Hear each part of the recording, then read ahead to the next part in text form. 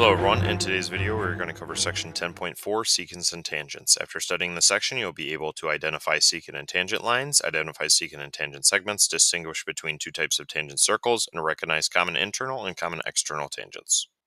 First, looking at secant and tangent lines, some lines and circles have special relationships. Let's look at two of these definitions. The first, a secant is a line that intersects a circle at exactly two points.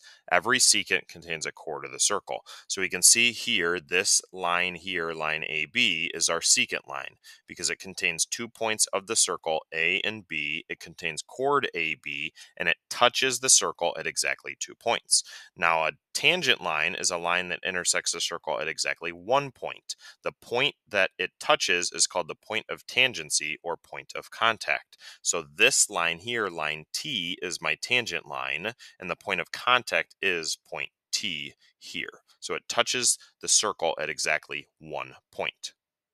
Now with tangent lines, I have the following two postulates. And we can use the diagrams above to show what these postulates are. The first being a tangent line is perpendicular to the radius drawn to the point of contact, and the second, if a line is perpendicular to a radius at its outer endpoint, then it's tangent to the circle. So if I look at my three diagrams, I can see that I have a radius drawn to the point of contact of a tangent line. What my first postulate is saying is that this radius will be perpendicular in each one of these diagrams to this tangent line. And then my second postulate, if a line is perpendicular to a radius at its outer endpoint, then it is tangent to the circle. So it's essentially the converse of my first postulate. If I have perpendicular to the radius drawn at its outer endpoint, then it's tangent to the circle. Next, looking at secant and tangent segments. So just like secant and tangent lines, I can also have segments instead of lines. First, a tangent segment is the part of a tangent line between the point of contact and a point outside the circle. So my figure to the right, I can see that T is my point of contact and P is the point outside the circle, making tangent segment PT. Next, a secant segment is the part of a secant line that joins a point outside the circle to the farther intersection point of a secant and the circle. So in my figure to the right, I can see that R and Q are my secant points, and then P would be my external part, making PR my entire secant segment. Now, the external part of a secant segment is the part of a secant line that joins the outside point to the nearer intersection point. So that would be PQ. So PQ is the external part of my secant segment PR.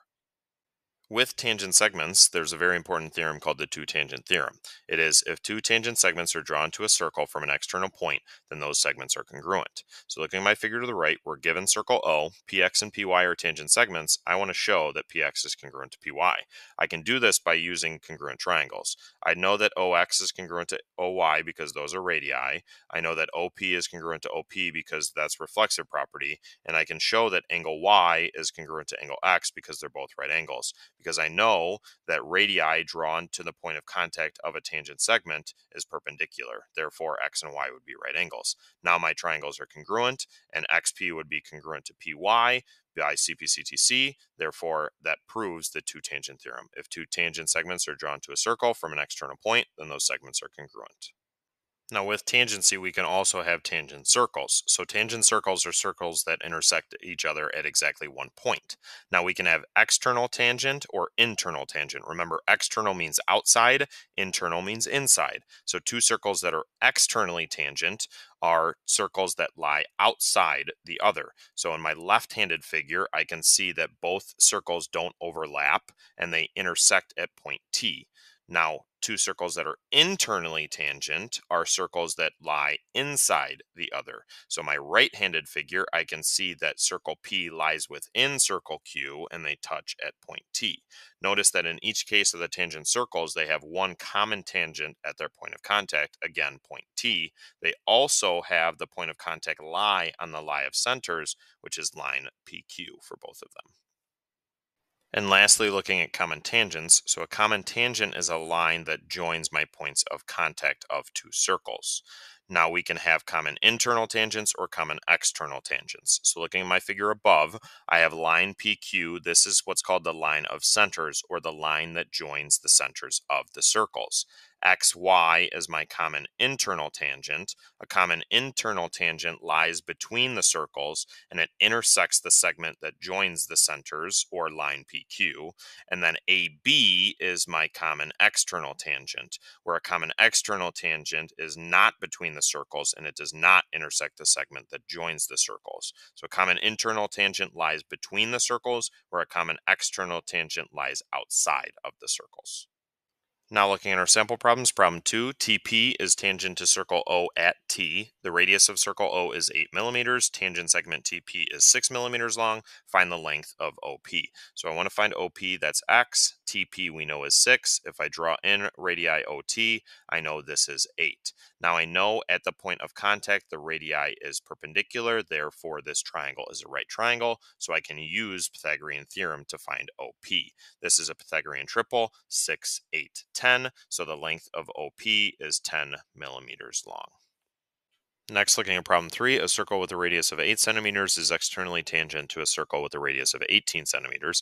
Find the length of the common external tangent. The common external tangent would be segment AB, which is labeled X. Now I know that these circles are externally tangent, meaning they touch at one point that's in between the circles, say right here.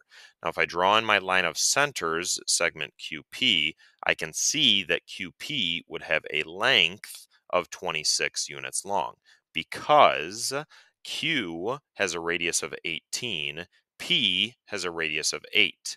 If they're externally tangent, these circles would touch, meaning this line of centers would be continuous from center Q to center P, making it 18 plus 8, which is 26. Now, I also know that A and B, these angles, would be right angles because the radii drawn to the point of tangency creates perpendicular lines if I can draw in a line that would go through point P that is parallel to AB, this would create a rectangle. Let's call the line through point P line PR. And now this is a rectangle here, making BP 8 and AR 8 as well. And that would also make RPX and QR would be 18 minus 8, which is 10. So now I've created this other triangle with a leg of 10, another leg of x, and then my hypotenuse of 26. And I can see that this x here, the segment RP, is the same as AB because I created that rectangle. So if I can find x, then that's the length of the common external tangent.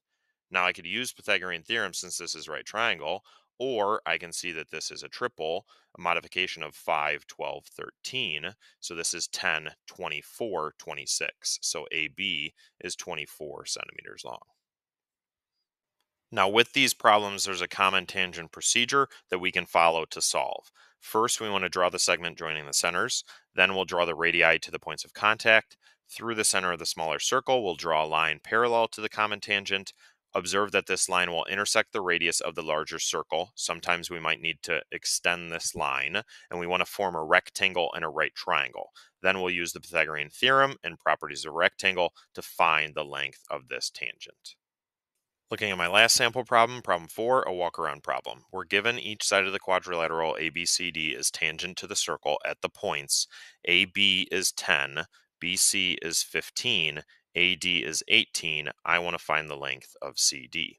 Now, since the circle is tangent to the quadrilateral, that means I can use my two tangent theorem to show that all these tangent segments are congruent to each other. Now, I can use this fact to show what side CD would be. So I'm going to start at any side that I want and label it X. I like to start at side CD and label one of those tangent segments X.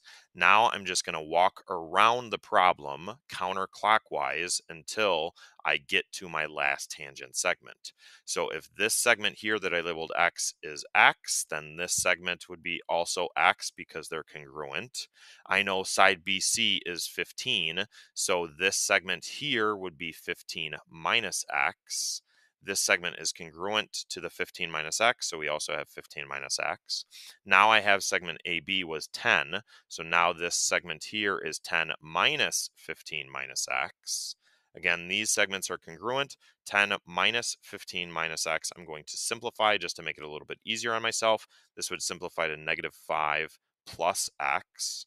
Now I have 18 minus negative 5 plus x, which gives me a simplified version of 18 plus 5 minus x, which would be 23 minus x. And now I can see that my side CD has my two segments of 23 minus x and x. So 23 minus x plus x would be the length of CD.